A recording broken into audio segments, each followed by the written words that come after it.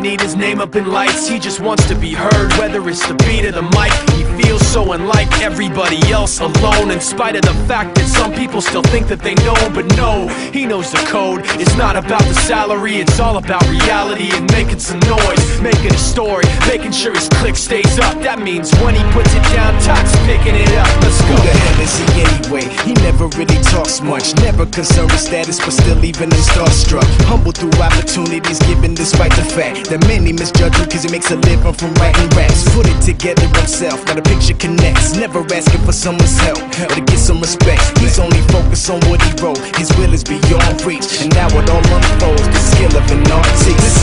20% skill, 80% fear, be 100% clear, cause Ryu was ill. Who would've thought he'd be the one that set the West in flames? And I heard him wreck it with the crystal method, name of the game.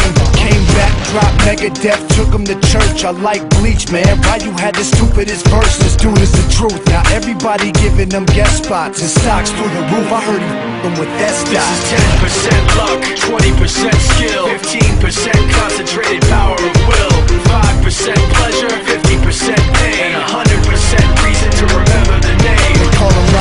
sick and he's spitting fire and Mike got him out the dryer, he's hot. Found him in Fort Minor with Tak, but a fucking nihilist porcupine. He's a he's a the type women wanna be with rappers hope he gets eight years in the making, patiently waiting to blow. Now the record with your notice taking over the globe. He's got a partner in crime, his is equally dope. You won't believe the kind of that comes out of this kid's throat. top.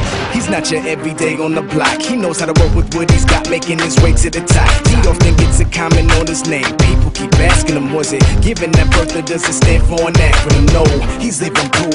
Let him rock in the booth. He'll get you buzzing quicker than a shot of vodka with juice. Juice. Him and his crew are known around as one of the best. Dedicated to what they do and give 100%.